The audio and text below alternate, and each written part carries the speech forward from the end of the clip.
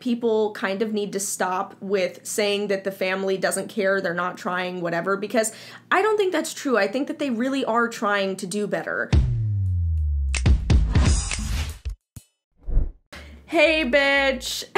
oh my goodness, you guys. So, first things first, I was not planning on making this video, but since I made my last video a few days ago, I kind of I don't want to say I felt bad, but I was reading through some of the comments and I felt like the overall message of my video was a little misconstrued. And I wanted to make this video to just be a mom. Girl, I put my dad jeans on. You see this? I wanted to make this video because I really just decided that what good are my reaction videos if I'm not actually giving advice. And in my last video, I was just kind of doing an update on where day by day was at in their life, but I didn't really give any advice to help them out aside from just saying that what they were doing was really horrible and potentially a total disaster when I rewatched my video, I realized that I said something pretty important at the end of my last video.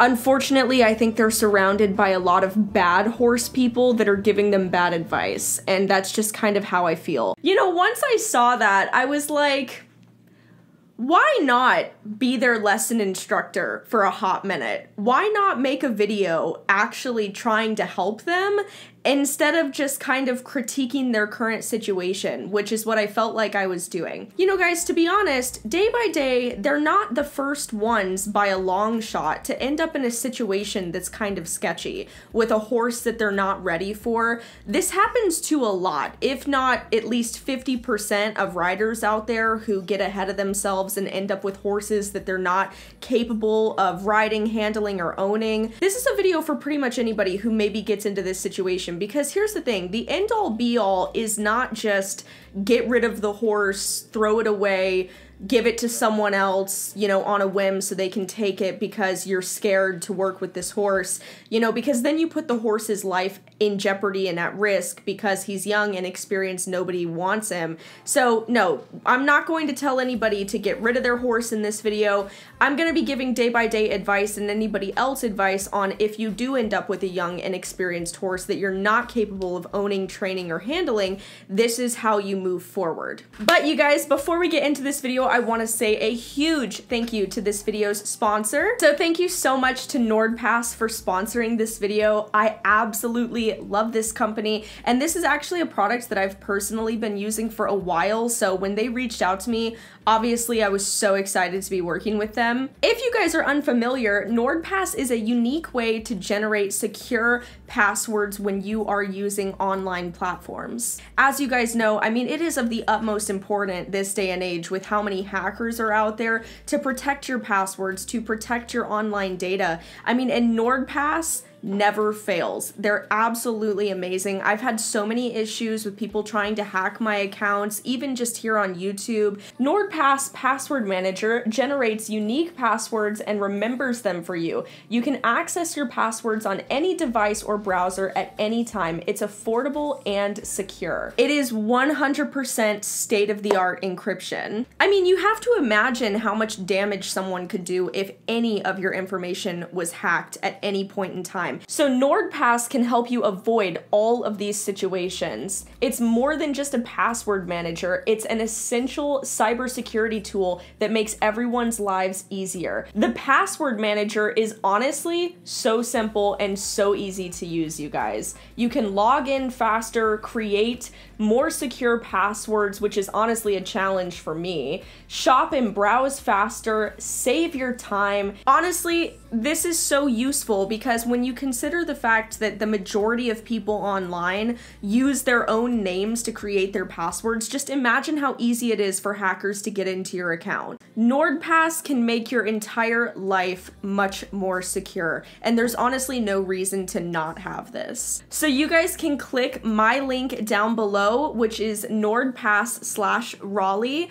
or use code Raleigh to get your discount and one month free. Plus, there's no reason to not try it. There is is a 30 day money back guarantee. So thank you so, so much to NordPass for sponsoring this video. I truly love them. I, I love working with them and I also love using their products for not just my personal life, but my business. So I hope that you guys will go check them out. But otherwise, let's get into the video close to 8 a.m. I don't even know what time. It is early. I've been getting messages that there's a YouTube channel about to make a video about Sophie and Chance, which is okay. There's something I really want to tell you about this. All right, we are gonna feed our girls. I know a lot of it comes from care for us and care for our children know that a lot of you guys have invested interest in us and care for our children and that means a lot to me that you're worried about Sophie's safety based on the information that you have and that means a lot to me. And I appreciate you guys caring and I appreciate you guys sharing all your information because we all have different experiences and um, knowing and being able to hear all of your experiences has helped us in so many ways in so many different um, situations and I appreciate that. And I just want you guys to know that I absolutely understand where you guys are coming from especially with the fact that Chance needs training and Sophie is young and inexperienced and I agree 150%. If anybody should be mad at Laura and her husband, it should be me. They said some pretty nasty things to me, but here's the thing. I'm not mad at them. I understand emotions were high. They've probably never had somebody criticize them before on the internet and they were probably getting a lot of backlash and taking a lot of heat because people were really upset that they were using a lame horse and they lashed out at me because of it. And I don't really hold that against them. I mean, I'm an adult, I can move on. I'm not going to hold a grudge against somebody for kind of losing their cool and losing their temper. What I'm saying is, I don't really blame the parents uh, entirely because you have to consider this, you guys yes, they are the parents and they're the ones responsible for their kids, but the parents, it's not like they're lifetime, lifelong horse people. They're learning just like their kids are learning. And if anything, their kids probably know more about horses than the parents do. I'm not excusing it because I, I agree that if you're in the equestrian community, you should make it your top priority to be knowledgeable, especially if your kids are doing it. But in a way, you know, parents, a lot of times they put their trust in the professionals, like the trainers, the lesson instructors that are teaching their kids to make sure that their kids are learning right. It's not really their fault. And I know a lot of people are going to lose their shit with me for saying that. Trust me, if anybody should be mad at these parents, it's me. And I'm not mad at them because the thing is, you can't really hold it against them for being ignorant when it's not their fault because they haven't been trained or taught by professionals in the industry.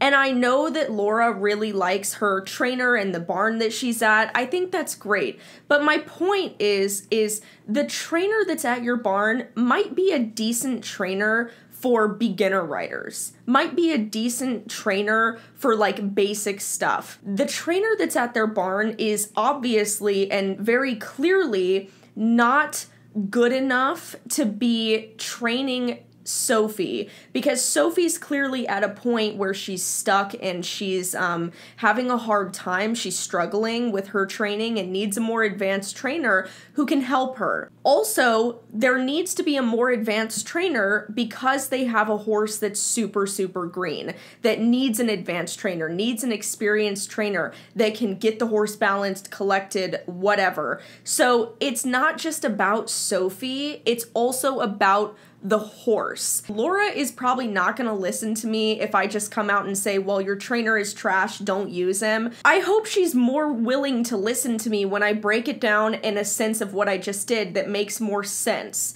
It's not that your trainer is necessarily bad, it's just that your trainer is not experienced enough to help you through these issues. You know what, Laura? If you don't believe me, let me tell you this and I, I mean this from the bottom of my heart. This is not me trashing your trainer. No experienced professional trainer would tell your daughter that leasing a five year old thoroughbred just because he's calm is a good idea or responsible thing to do. So I hope that tells you something right out of the gate that that trainer is clearly not at the level that you need to be working with your kids to get them to where they need to go. I absolutely agree with that and understand that. I feel so grateful to have the trainer that we have, to be at the barn that we're at. But like I said, uh, this lease is giving us an opportunity to discover for real if he is gonna work or not. And if he doesn't work, we can walk away. But thank you guys so much from the bottom of our heart. You're welcome. I disagree with people who are just blaming the parents entirely because here's the thing. I think that they are trying. And I did say that in my last video. So you got to give the parents credit where credit's due. They did listen to what I said in my video. And they did take what I say to heart, even though they had kind of an over the top negative reaction to what I said, they still listened to me. They got their kid on a new horse, they rehomed their other one to a good home. The new horse that they ended up with, which they're leasing currently, although I don't think it's a good fit, they did a vet check, you know, they did every single thing that people have been telling them to do. So the thing is, it's not that they're not trying because if they weren't trying they would still be at square one and they would still have Finn and he would still have issues. I don't want to tell them to just completely ditch this horse. I think it was a really bad idea to buy this horse. And the reason I'm saying that is because I know it's a lease, but what I think they did is I think they signed on for a lease to buy. So they're kind of stuck. I, am not really sure if they could back out of it at that point. I, I don't want people to be like they just need to get rid of the horse because there is a way to go about this responsibly, and I hope that they listen to what I say because no, there's a lot of people who end up with horses they're not capable of working with. I mean, I did when I was 13 with Link. And the thing is, there are ways to go about it responsibly, and I'm gonna tell you what I did. And I want this to help out other people who are maybe stuck in a same situation where they're not that good of a rider, they're not that advanced, but they have a horse that's really advanced, needs an experienced rider, and they don't really know what to do. First of all, spend a lot of your time watching YouTube videos of like real professional trainers. There's a lot of really good professional trainers on YouTube that post videos working with horses and make sure that it's a professional, somebody who legitimately has a business, not just an internet trainer, but someone who's actually posting really good videos on working with fresh horses and young horses. I'm going to put a few of the the best channels up on the screen that you guys can go and check out that do a phenomenal job of going over young horses, novice horses. If you're a rider who's looking to advance your skill sets and you maybe don't have access to an experienced trainer in your area or an experienced lesson instructor and you're trying to get better as a rider, or maybe you don't have that much money to take advanced riding lessons, I recommend that you check out Horse World TV, which I know that Matt and Yese are my friends, so I'm not trying to come across as biased, but honestly, Horse World TV is great. I'm pretty sure I don't know, I think it's like 20 bucks a month, which is way cheaper than even one lesson. And you can learn so much knowledge and information about riding, improving your seat, improving your equitation and your balance. They really go over how to improve yourself as a rider. And you can, again, also find videos like that on YouTube as well. And the reason I recommend videos is because people are visual learners. They're better able to, you know, learn things when they can see somebody else doing it. So definitely watch videos on improving your seat, improving your equitation, improving your balance, helping it make sense to you, and also ways to work with your horse and train your horse because you shouldn't just be relying on a trainer to do everything for you. You should also be wanting to learn what the trainer is doing to work with your horse because it's your horse. You want to know what they're doing. You want to learn how they're teaching your horse these things, how they're getting your horse balanced, how they're collecting your horse, how they're building muscle with your horse, how they're riding your horse. You want to know these things not just to grow your own personal knowledge, but that way you can upkeep that horse's training and riding. Something else that you can do is you can buy books on uh, riding and equitation and riding exercises. These are when I first got into dressage, I had no idea what I was doing. The first thing I did when I started learning dressage is firstly, I watched a ton of riding videos on other dressage riders, helping with position, equitation, balance, whatever. Also, uh, I watched a ton of videos on teaching dressage horses, training dressage horses, getting their movements, etc. And another thing I did was I purchased some dressage books that I had recommended to me by professional dressage riders. These are all things that are inexpensive that everyone can do if you don't have the money to take expensive lessons or if you don't have the trainers nearby. You don't have to have a lot of money to do things right and do things efficiently that can actually have really good long lasting results. So when I was 13, I got Link, and he was two years old, as many of you know. I was way over my head with him, but thankfully, I had a lot of professional trainer friends who were in their 50s, 60s, who were in my area. And actually, I would work for them, taking care of their horses at shows or mucking out their trailers. I would help them out in any way possible in exchange for helping me train my horse. I didn't have any money. I was a broke kid and I still was able to have professional trainers work with me and work with my horse even just a couple times a week because what they would do is they would come out and they would be like this is what we're going to do to work with this issue or work with this problem. This is what we're going to do to teach your horse this this and this and you're going to work on it for the rest of the week. I'm going to show you how to do it and how to get it done and then I want you out here working with this horse on this every single day, and I'll meet up with you again next Monday. So, literally, it wouldn't even have to be every single day working with them. Just once a week, they would give me something to do with my horse, one training exercise to do with him to help train him for specific things and help with the biomechanics of how he moved. I can't even tell you how much those trainers taught me. So it's not that it can't happen, it's just the fact that if you want to do it, you really have to try hard and make sure that you learn correctly and you do it right because you don't want to ever rush these things and you also don't want to just blow it off on someone else like, oh, they'll take care of it for me. No, you need to be there every day. You need to be there with your horse grinding through this work every day and learning it for yourself.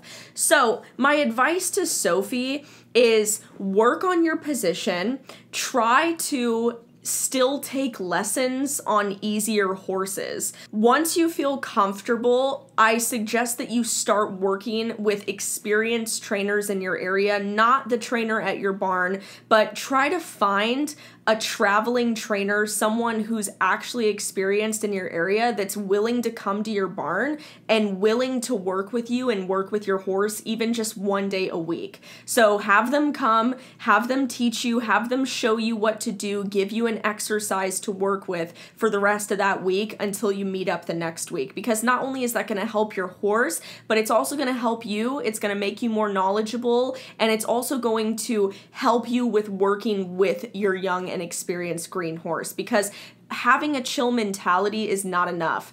The horse needs guidance and you need guidance. And that's basically my advice, you guys. I really hope that Day by Day takes this to heart. If you guys have any other questions or maybe you have some young horses of your own and you need advice, I'm happy to answer down below. I'm happy to uh, talk to you guys, but I really hope Day by Day listens to this. Okay, guys, so I just got up and um, I'm getting ready. I'm gonna go in um, get ready and then I'm gonna head out to go see Link and um, do a lot of the therapy exercises and stuff that I do with him.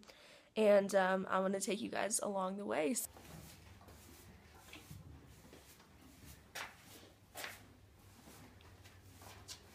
So anyway, guys, thank you so much for watching this video. I know it was kind of information overload, but I love you so much. Thank you to NordPass again for sponsoring this. You can click my link down below to get that discount. But otherwise, guys, don't forget that we have that saddle giveaway this month. I love you, and I'll see you in my next video. Bye.